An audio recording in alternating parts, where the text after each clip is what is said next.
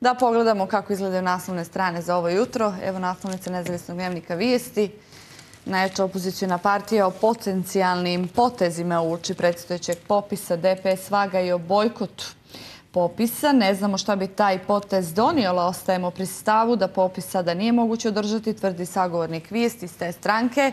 Iz Koalicije za budućnost Crne Gore poručuju da bi njihova posebna popisna kampanja bila suvišna, ali upozoravaju da bivši režim vodi histeričnu kampanju protiv zvaničnog prebrojavanja. Iz PES-a i Demokrata poručuju da na bilo koji način neće učestvovati u kampanji, jer smatraju da je popis statističko, a ne političko pitanje.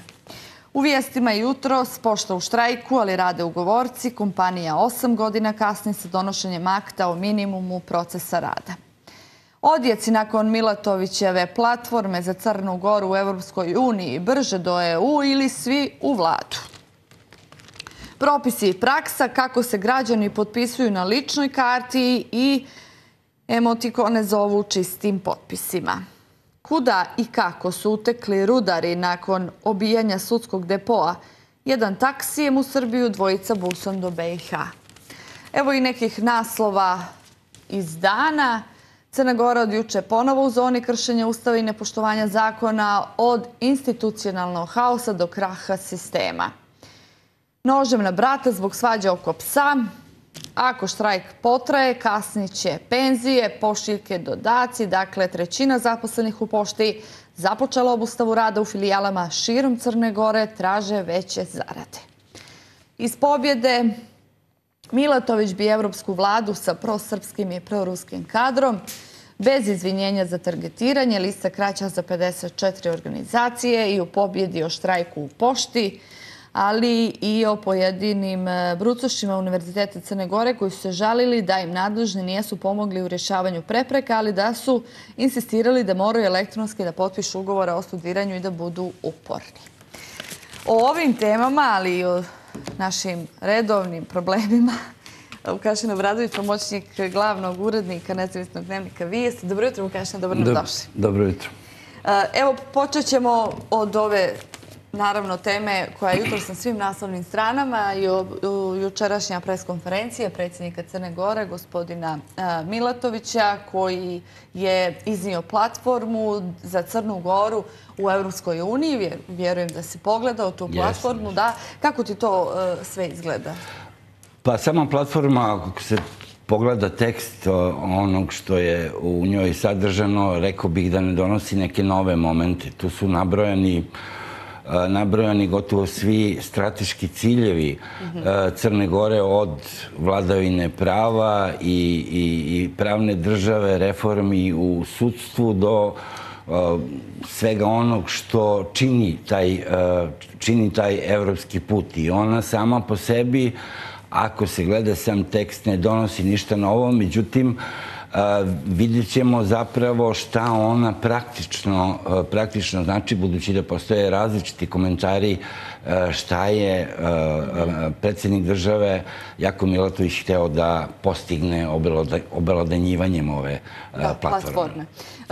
Čule se, čulo se juče mnogo toga na, u odgovorima na neka pitanja i ono što je rekao predsjednik države, osim što je ponudio parlamentarnim partijama ovu zajedničku platformu za Crnu Goru i EU, poručuju političarima da svoje nesnalaženje ne prebacuju na predsjednika, odnosno, odnosno na njega. E, da li vi vjerujete da će Crna Gora do 10. novembra, kada ističe rok mandataru Milojku Spajiću, da predlože svoj kabine dobiti novu vladu. Evo, kad sve ovo sagledate, vidite, čujete. Da, da. Pa jako je teško prognozirati zato što uh, se mi nalazimo u jednom, uh, u jednom prilično, uh, kako da kažem, nedefinisanom, nedefinisanom političkom, političkom prostoru. Ono što je što, što postaje svakim danom jasnije je zapravo da Milojko Spajić u ovom trenutku nema čini mi se mnogo izbora i da je pri njim ta, pri njim odluka da li će i sa kim će u vladi, pre svega tu mislim na URU i, i zajedno za budućnost Crne Gore, šta će on odlučiti na kraju. Mislim da, da je to važno, ali važno je da građani znaju jednu drugu, drugu stvar koja, koja ovaj, otprilike baca, rekao bih, jedno novo svetlo na, na političke da. prepirke uh, između stranaka. To je da se sve više unutar Evropske unije i govori, i to znaju svi ovi političari koji učestvuju u, u pregovorima oko vlade, da uh, se pred Crnom Gorom zapravo otvara jedna, jedna šansa uh, da mnogo kraćim putem nego što bi to bilo u normalnim okolnostima postane e, član EU. Dakle, to je nešto što prema našim saznanjima podržava pre svega Francuska, ali i neke druge države i argumentacija je prilično, prilično jasna. Crna Gora je stigla do jednog nivoa u evropskim integracijama, Crna Gora je mala država, relativno, ovaj, sa 600.000 stanovnika, gde, u kojoj mogu da se zapravo sprovedu brzo reforme i prema toj, toj opciji Crna Gora bi trebala da bude zapravo nekakav dobar znak za ostale članice koje, odnosno za ostale kandidate koji su na putu ka Evropskoj uniji, I e, to je zapravo je ono što je suština, meni se čini e, cele ove priče sa sastavljanjem vlade. Dakle, e, svi koji učestvuju u ovim pregovorima plašim se da pokazu, pokazuju manjak,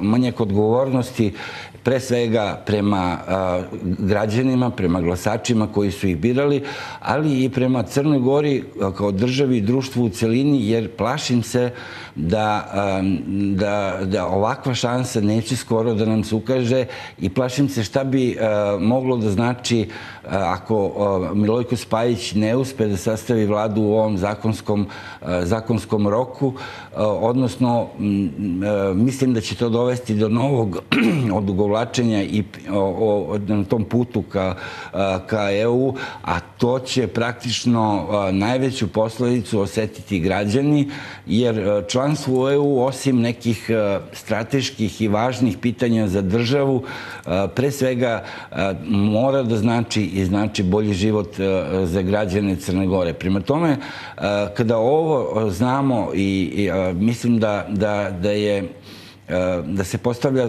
dakle taj, ta, u, u, u svoj svojoj ozbiljnosti kakav je zadatak svih ovih aktera na političkoj da. sceni koji trenutno rade, jer zapravo, osim tog tehničkog posla, ovo je nešto što je strateško pitanje Crne Gore i, i, i mislim da je mnogo važnije od tih trenutnih prepucavanja.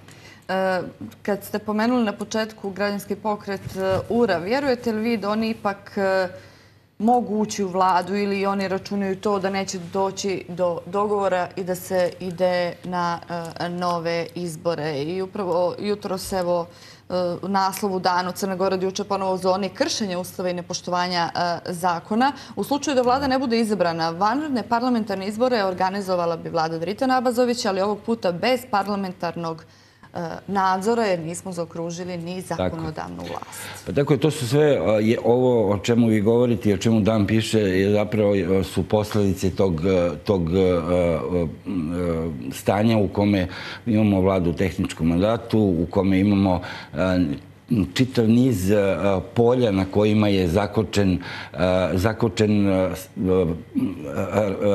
zakočena država u nekim aktivnostima kao što je recimo prostorni plan i tako dalje.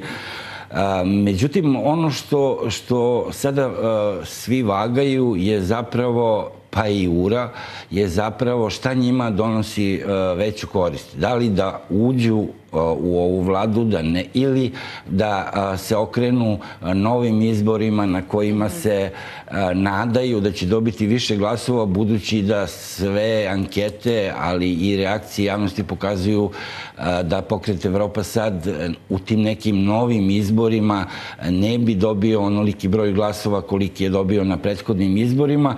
I to je, to je, ta, ta, to je ta politička igra koja se odvija svaki, svakim danom pred, pred našim očima i mi imamo ovde i danas indikativnu izjavu Alekse Bečića koji kaže da najpre treba da, se, da su oni voljni, pokret Evropska Crna Gora, demokrat Crne Gore, pardon, ovaj, ali da najpre treba da se dogovore Milatović i Spajić i ja duboko mislim, duboko se slažem sa tim, mislim zaista da je poslednje vreme da se, da se Milatović... Je li nekako problem baš tu? Pa ja mislim da jedan od važnih problema je baš tu, jer mi tu imamo očigledno nerazumevanje između dvojice čelnih ljudi pa rekao bih i ne samo pokreta Evropa sad, nego, nego i države I Nemaju ni to je pogled, preduslov, se. Tako I ko bi tako trebao da čini tako je. To je, čini mi se, možda ne odlučujući moment, ali to je jako važan moment za, za sastavljanje vlade ukoliko bi njih dvojica postigli potpunu saglasnost, a ponavljam, ta saglasnost se pre svega tiče učešća i pokreta URA i koalicije zajedno za budućnost Crne Gore. E, vidite li vi to miješanje koje se stalno pominje? Srbije, e, Srpske pravoslavne crkve, Rusije. Ovamo imamo sa druge strane međunarodnu e, zajednicu je na neki otvoren način. Ono, je li, kako vi vidite taj njihov način obraćanja nama ko može, a ko ne u vladu? Pa znate šta, dakle, mi prvo moramo da raščitimo jednu stvar. Dakle, sa evropskim integracijama, evroatlantskim integracijama i uopšte integrativnim procesima u savremenom svetu odstupilo se od tog koncepta potpunog suvereniteta države. Dakle, mi na jedan ili na drugi način, svaka država koja uđe u ovaj proces se odriče dela tog suvereniteta i dakle, tu ne treba da imamo nikakve, nikakve ovaj, iluzije. Ono što je važno je da moramo da takođe da shvatimo da svaka država ima nekakve svoje interese u Crnoj Gori i njihovo je da te interese, da se trude da te interese ostvare. Na nama je, odnosno na Crnoj Gori, kako će da, da odgovori na te, na te pokušaje koji često prelaze koji se često ovaj, proglašavaju i pritiscima. Ja verujem zaista da ima tih, da ima tih pritisaka, ali oni nisu ništa neobičajeno, samo im se aktualna politička situacija u Crnoj Gori je takva da, da se tim pritiscima daje mnogo veći značaj nego što ga oni objektivno imaju, jer se zapravo na tom jahanju, na uticaju ambasada Vučića, Srbije, Rusije i tako dalje pokušavaju da se ostvare neki dodatni politički, politički pojeni. Ponavljam, zrelost jedne države se ogleda zapravo u tome kako će ona odgovoriti na te čak i pritiske iz da. susedstva, iz raznih centara moći i to je meni se čini prenaglašeno upravo zbog toga što plašim se da na taj način pojedini aktori na političkoj sceni skidaju sa sebe odgovornosti i prebacuju je na neke centre moći, a zapravo se radi o njihovoj volji, želji i sposobnosti da shvate u kakvom se trenutku nalazi Crna Gora i šta je njihov, njihov zadatak u tom smislu. E, dotaćemo se malo i regiona, kratko samo, da. imamo još nekoliko minuta. Htjela sam e, e, da čujem i ovo što je na naslovnici vijesti oko, oko, oko samog popisa i o tome se sad to pa da. nije, izgleda kao da nije statističko, već zaista političko pitanje, iako političari kažu da nije političko nego statističko. Ne, čak, e, ja bih rekao da čak se popis pretvara ne ni u statističko, ni u političko, već u nacionalno pitanje. Popis, Kako će ko da se izjasni? Popis sve, po, e, sve više pobrojava ono što naročito i meni, a verujem i svim građanima smeta, zapravo nekako prebrojavanje krvnih zrnaca građana Srbije i to je ono što osim direktne štete, zapravo diže nivo temperature u celom društvu i mislim da, da, da, da posledice mogu biti, mogu biti vrlo, vrlo ozbiljne. Dakle, ne treba se igrati sa, sa ovim stvarima, dakle, i mislim da, da popis mora da se vrati u okvire u kojima je on i zamišljen kao jedan proces u kome se popisuju svi najvažniji statistički parametri parametri koji su jako važni za buduće funkcionisanje države. u ovom pravcu, kako se sada ide, popis će se pretvoriti u svoju suprotnost i mi ćemo dobiti jedno nacionalno prebrojavanje što nikome, nikome nije od koristi. E, evo da prokomentarišemo situaciju kad je riječ regionu, odnosno e, na, na Kosovu. Evo i jutros e, u vijestima da to smo juče mogli da čitamo u srpskim medijima. Optužbe Prištine vrijeđaju intelekt. Kažu vojni e, vrh Srbije demantuje da je vojska planirala upad na Kosovo, čija je šefica diplomatije pozvala EU da zamrzne status Srbije kao kandidata za članstvo. Premijeri Hrvatske i Albanije takođe traže mjere, mjere protiv Beograda. E, sinoć se mnogo na društvenim mrežama, naročito na Twitteru, komentarisao intervju Aleksandra Vučića CNN-u. Kristijanijom Pure, da. Da. E, mnogo, evo, vjerujem da si da, ispratio. Kakav je tvoj komentar? Pa, znate šta, ovaj, e, Kosovo odavno nije samo problem Srbije, Kosovo je regionalni, pa rekao bih i, i evropski problem.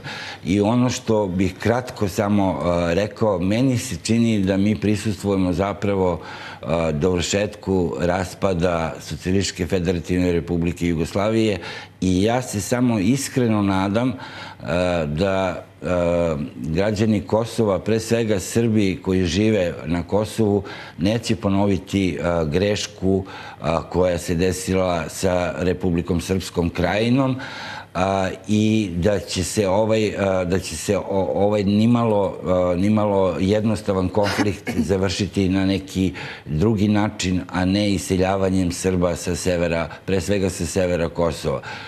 Srbija se nalazi u jako teškoj situaciji bez obzira što govori šta se za, na unutrašnjem planu i za domaće potrebe govori Aleksandar Vučić. To smo videli i u intervju sa Kristijanom Alampur gde je on prilično bio defanzivan za razliku od Hepija gdje je bio ovaj, mnogo srčaniji, ali to je ta pozicija Srbije koja je objektivno u ovom trenutku pre svega zahvaljujući, e, zahvaljujući nekim potezima koji su povučeni u poslednje vreme i onome što se dešavalo u Banjskoj dovedena u jedan vrlo, vrlo težak položaj. Ja ne znam da li će biti sankcije protiv Srbije, ne znam kako će se sve to okončati. Ponavljam, samo bih voleo da ceh, kao što smo gledali na prostoru bivše Jugoslavije, ne plate oni koji su najmanje krivi za to, a to su građani pre svega srpske nacionalnosti koji žive na severu. Kašnik, hvala vam mnogo.